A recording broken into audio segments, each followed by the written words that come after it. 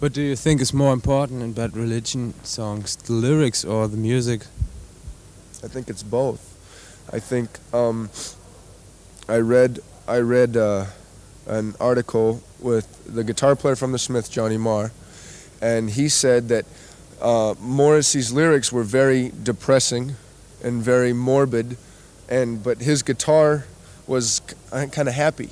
You know, it was kind of it was easy listening. It was good to listen to, and so with Bad Religion, some of the lyrics are are really they're messages and important messages. But if you had them going and, and then maybe you wouldn't hear the message because the music wasn't easy listening. So the music is important because that's what you're listening to and then the melody line with the lyrics over it is what you're saying. So I think they're they're as important as each other. Oh, definitely the lyrics, because um, I would say we can't really play that well. Well, I could just speak for uh, myself. So, um, yeah, I think the lyrics are the cornerstone of the band.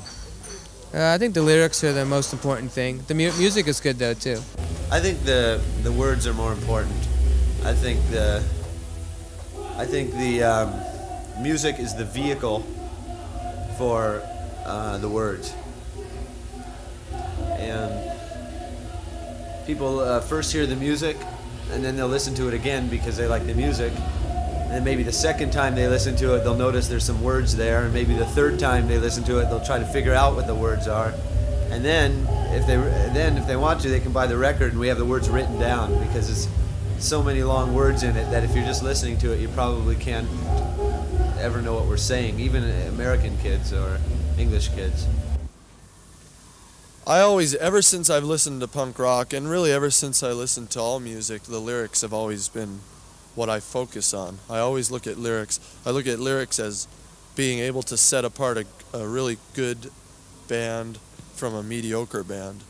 Because uh, with rock music, it's very difficult to show differences in rock music, whether it's punk rock, heavy metal, anything.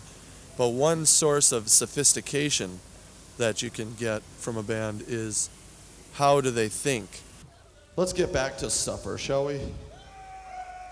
Here's a song called When.